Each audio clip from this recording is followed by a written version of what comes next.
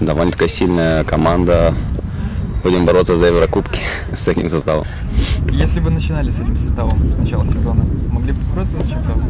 За чемпионство. В принципе, при определенном подходе, при правильном подготовке, конечно, думаю, что могли бы. Как тебе вообще тренировки? Те команды ты уже забил за них?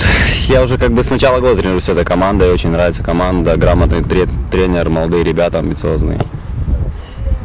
Доволен. Перспективы, ну понятно, что до лета поиграю здесь, там дальше будет видно. Тебе вообще обидно, что так все получилось? Да нет, я такой человек, который ни о чем не жалеет. Все, все, что делается, все к лучшему. Ну, хотелось бы поиграть, наверное. Ну, конечно, смотря сейчас на результаты Мордовии, было бы приятно выигрывать у Крылья Советов и у Анжи. Ну, а другие более сильные чемпионаты, там, не знаю, Бельгия, Испания. Ну, после того, как я побывал в, Испаньо... в Испаньоле, Испаньол резко пошел вверх, с последнего места поднялся в середину турнирной таблицы. Конечно, бы хотелось. Считаю, что Испаньол это одна из сильнейших команд, за которые... в которых я был сейчас на просмотре. Э, Есть шансы продолжать закрепляться в сборной, играя в академии? Ну, почему нет?